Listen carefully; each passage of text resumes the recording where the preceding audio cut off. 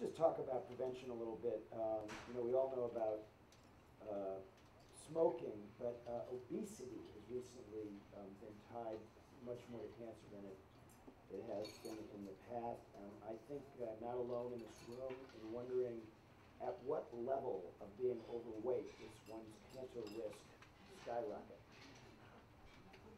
You know? uh, We don't. Um, One of our researchers published in the New England Journal of Medicine two or three years ago, one of the more uh, talked about in the media, uh, studies about the relationship between obesity and cancer, but there's no denying that there is a relationship.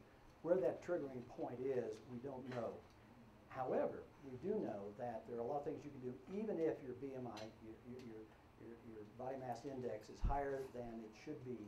uh, If you can watch what you eat and exercise, you can change your risk of getting cancer.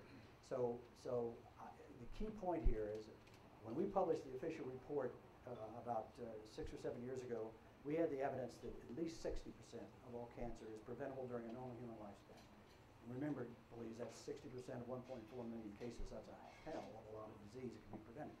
Bob Weinberg, who's an American Cancer Research Professor at MIT, just published in Newsweek a week or two ago, that he believes it's now seventy percent. I believe hopefully before my career is over, it'll be eighty or ninety percent can be prevented. So the key point is, and, and and I just, it was just announced that for the first time since we've been keeping records, less than twenty percent of the American public uh, smoke. It's now nineteen point seven, but to get below twenty, when at the time of the Surgeon General's report, it was, it was a majority of all men in America, that's huge progress. And we've proven, of course, that it works, that you can quit and reduce your risk of cancer. So there's a lot people can do. We've actually partnered with the American Heart Association and the American Diabetes Association. We compete every day in communities for volunteers and money and, and, and, uh, and attention. But we said, look, there are certain messages we can get out there. And basically, they're don't smoke, or if you do, quit, and we're willing to help you.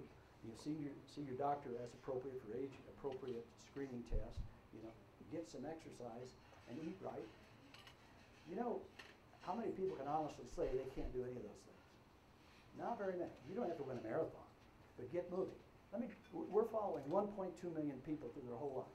It's the biggest prospective epidemiolo- epidemiologic trial in the history of public health.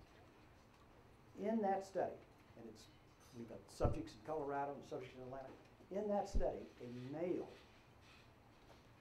who doesn't smoke and gets some exercise, as self-reported, has an 8% absolute chance of dying in midlife from anything. Eight chances in 100 of dying between ages 35 and 69. Not just of cancer, just dying. His couch potato smoking counterpart, 39% chance. Wow, 39%. that's amazing. Um, So, so it'd be hard to exaggerate the importance of prevention and health promotion. Um, uh, Let's talk about vitamins, 'cause I think a lot of people in this room are curious about that. And I know that you're very cautious about endorsing anything. Uh, There's been some interesting research on vitamin D in particular. I know these things kind of go in waves, they can be faddish, but I think we might be approaching a point where uh, 1,000 units of vitamin D is something that is proven since it doesn't hurt you. You know, that, of course, that gets into the whole issue of FDA, and that is, of course, efficacy and, and safety. Uh, and there, as you know, are things such as hypervitaminosis, so you can very, uh, recommend something, but somebody can have more. I'll say this, I'll be surprised, um, the way I would answer this, which is waffling, I suppose, a little bit, is that uh, we have never, no, there's no evidence that, that, that there's anything better than a good sound diet. And, and if you have a good sound diet, and if you look at your teeth, you've got all kinds of teeth in there, not just teeth to, to chew, but teeth to cut through.